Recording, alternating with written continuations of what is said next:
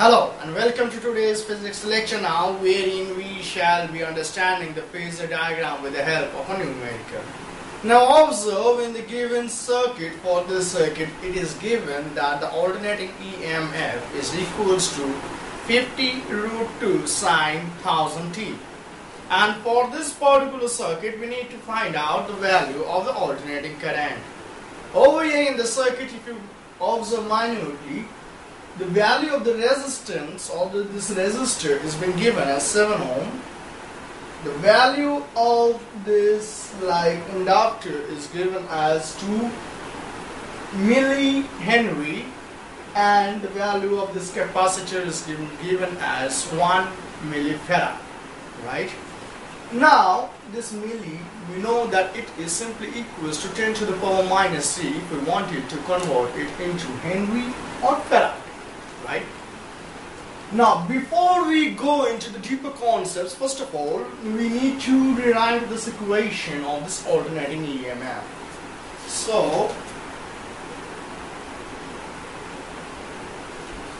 it is given as that E is simply equals to 50 root 2 sine of 1000 t now, if we actually compare this equation with the equation we actually got during the time of the discussion that uh, how we could represent the, an LCR circuit, as you can see that over here this is L, this is C, and this is R, right?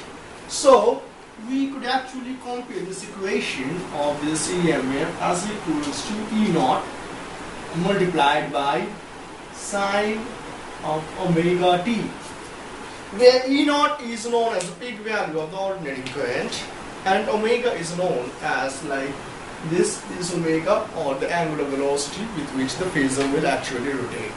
And this omega is simply equals to 2 pi f or 2 pi divided by t, capital T obviously, where capital T is known as the time period, right? Now, comparing it, we could get that actually this E naught is equals to 50 root 2 and also we could understand that this particular omega this is simply equals to 1000 right? So from this two like a comparison we could actually state that E naught over here is given as 50 root 2 whereas the value of omega is been given as 1000 or is equals to simply 10 to the power 3 right? Now if we actually intend to find out the XL and XC which are basically the reactances of this uh, like inductor and the capacitor respectively we could find it out as XL which is been denoted as omega L will simply be equals to the value of omega. We can replace it by 10 to the power 3. Right? This actually, this omega, the unit of the omega is simply equals to radian per second as you know.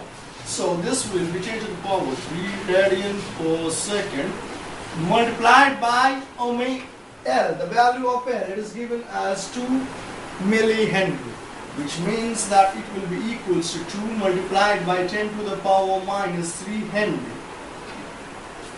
Right?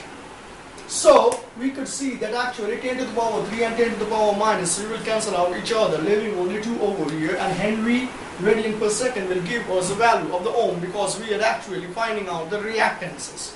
Right? And this will be XL that is means the inductive reactance. So, its value will come out to be as equivalent to 2 ohm right? Now over here if we wish to find out the xc which obviously means that we are going to find out the capacitive reactance in that circumstances xc will simply be equals to 1 divided by omega c will simply be equals to 1 divided by the value of omega is 1000 multiplied by the value of C. The value of C is equals to 1 millifarad. So we can write it as 1 multiplied by 10 to the power minus 3. Now also over here actually we could see that this 1000 will cancel out this 10 to the power minus 3 leaving only 1 over here and the unit will be 1 ohm because again we are actually interested in finding out the reactances right? So this will be the capacitive reactance as equals to 1 ohm and this L omega or this omega L as the 2 ohm that is the inductive reactance. Now if we could actually remember from our previous classes that once we did mention in the cases of, let us say for example, in uh, discussing about LCR circuit that if actually XL is greater than say for example this XC, in that circumstances actually I or the alternating current will actually lag behind and the E or the alternating EMF will lead forward. So we have already seen that XL, if this is greater than XC, we can understand that I lags. Now again if we want to understand it with the help of the phasor diagrams, we can. Let us see how. Say for example, this is a phasor diagram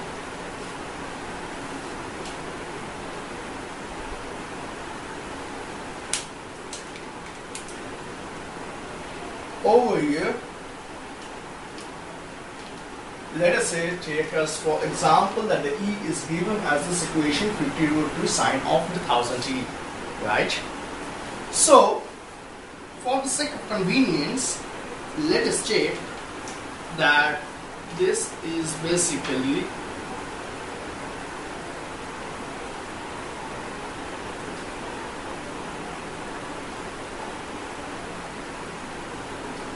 like this.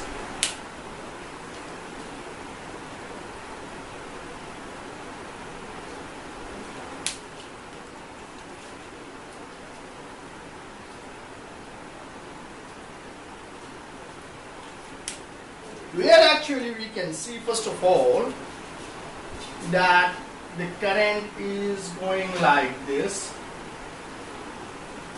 right? And we observe that if this is the current flowing through the resistor R, this will be IR. And we know that if this is IR, the voltage or the potential drop across this will be in the same phase. So we can say it as, for example, the V. Now, over here, if this is the V we take, we know that actually in the cases of a purely capacitive circuit, the current leads than the voltage by a phase difference of pi by 2. Which means over here, this black line, this will indicate the I for the capacitance which is passing, passing through the capacitance will be IC and over here we could get that this is IL as we also know that for a purely inductive circuit the current will actually lag behind this voltage by a phase difference of pi by 2 this is a leading and this is a lagging. Now over here if we observe that actually this IC is smaller than IL which obviously is indicated by XL is greater than XC which means the I lags behind. So we can take that over here.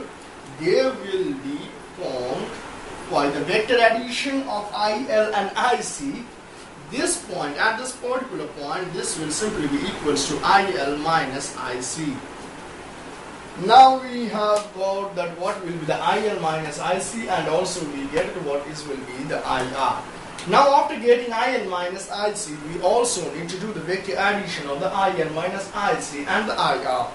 Now if you do look actually this is making and forming a pi by 2 angle over here.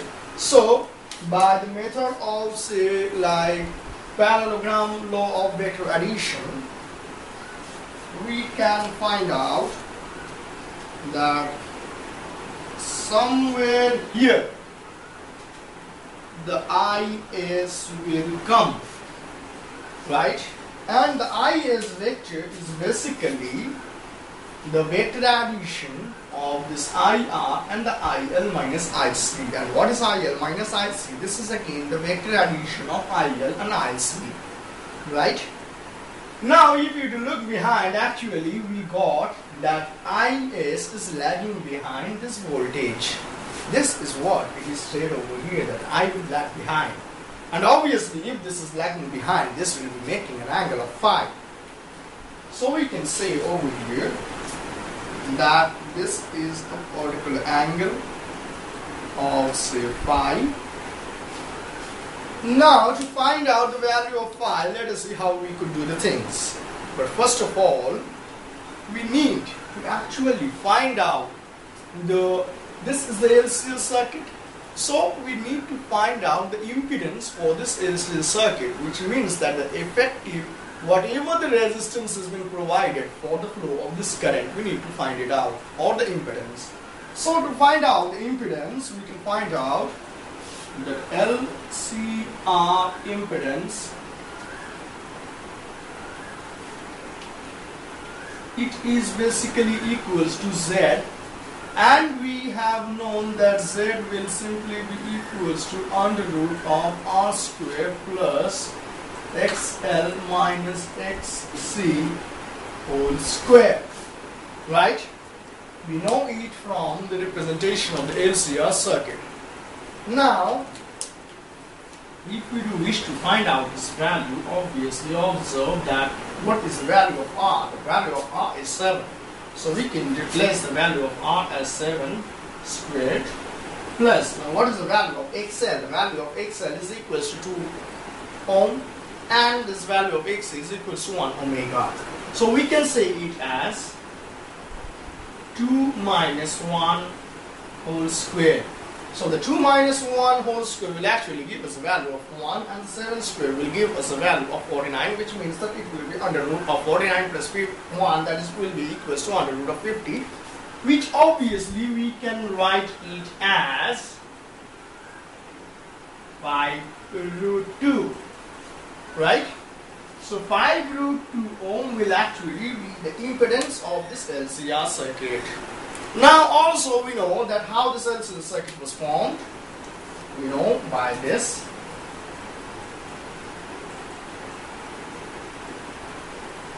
The triangle law. That if over here we to fix up R over here we will fix up xl minus xc then over here we will get the impedance or as equals to under root of r square plus xl minus xc whole square. Right? Now over here we will get that phi. The phi for which we have seen this in the phasor diagram, right? So to find out the value of phi, obviously we have to use either of the trigonometric functions like sine, cos or tan. It's better to use tan over here in this scenario.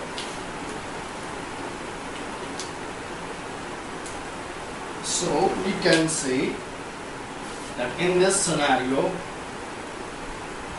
tan phi will simply be equals to xl minus xc divided by r which simply will be equals to 2 minus 1 divided by the value of the resistance of 7 will simply equals to 1 divided by 7 or else we can write it as the phi will simply be equals to tan inverse of 1 by 7 right? Now, if this is actually equals to Z, we can find out the value of the peak value of current. How? We know that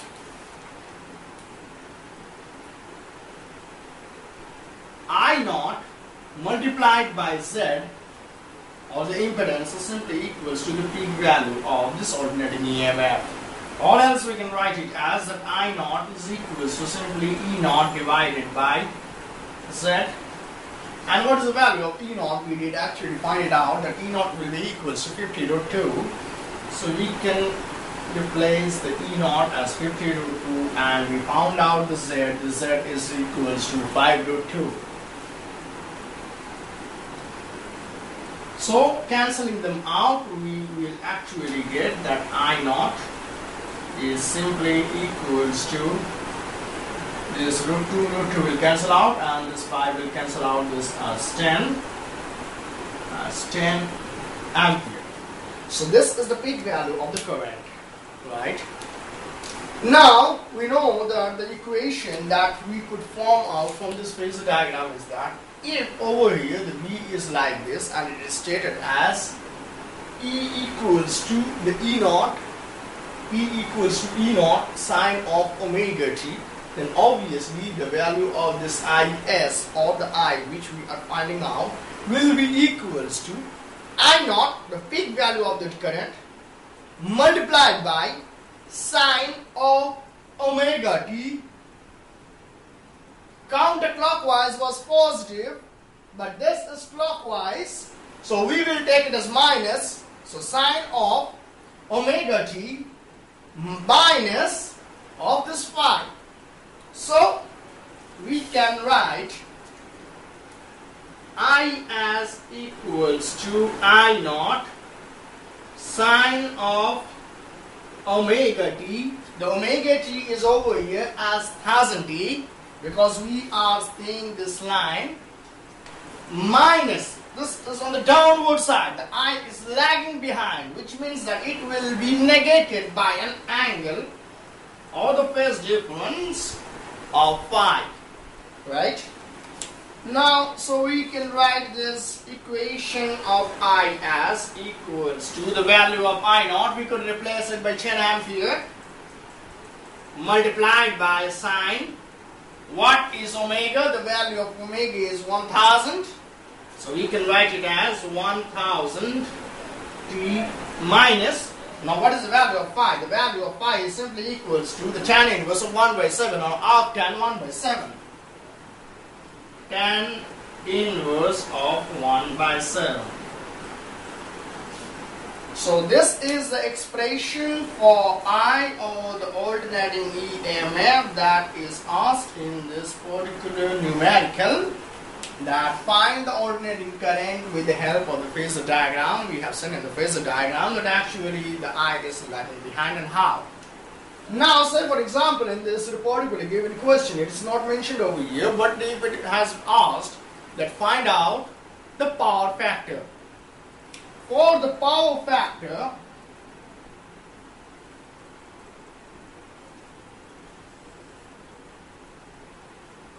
we know that power factor is equals to cos phi and from seeing this triangle we can find out the value of cos phi as simply equals to r divided by z right r divided by z. And what is the value of r over here? The value of r is equal to 7 ohm. And what is the value of z? We did find out it as 5 root 2 ohm. So the power factor will actually is a dimensionless quantity. It will be equals to 7 divided by 5 root 2. So we can say that in this particular given numerical, the power factor is equals to 7 divided by 5 root 2. Right? Thank you.